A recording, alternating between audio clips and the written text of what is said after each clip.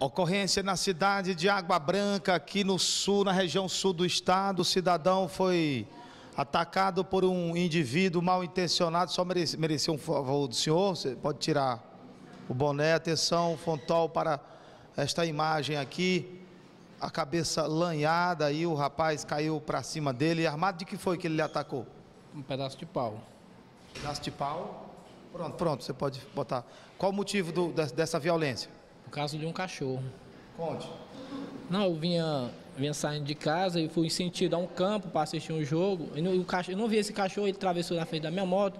E eu passei por cima desse cachorro. Aí mesmo assim, passando por cima desse cachorro, mesmo assim eu pedi desculpa ao rapaz dono do cachorro, mas mesmo assim ele ficou falando algumas coisas, eu pensei que ele não ia fazer nada. Aí eu voltei, minha moto acabou a gasolina, eu deixei minha moto estacionada e voltei para esse campo, se um colega meu ia comprar gasolina para mim.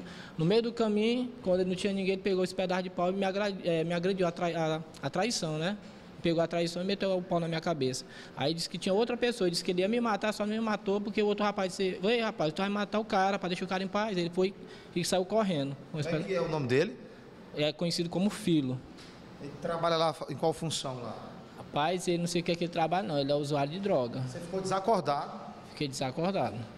Você matou o cachorro ou só feriu o cachorro? Acho que eu feri o cachorro. Não, não vi muito bem o cachorro. Que ele atravessou na frente da minha moto, minha moto passou, que eu estava assim, um pouco rápido, não deu para ver.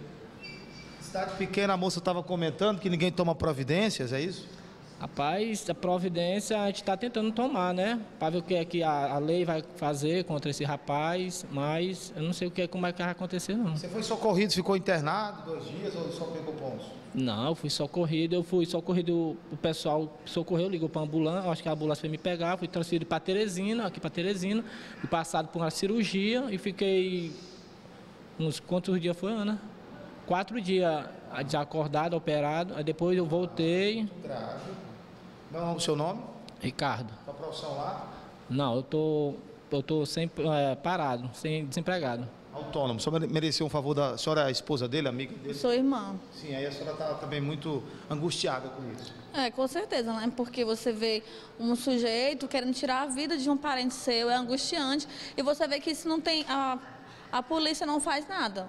Eu já andei, todos os dias eu vou na delegacia, já pedi, peguei todos os documentos necessários, faço tudo que eles pedem até agora nada. O meliante está andando aí solto, é, querendo agredir outras pessoas, que é uma pessoa que não tem ninguém, não tem família, e está aí disposto a. Teve traumatismo? Foi? Teve que ser operado? Foi.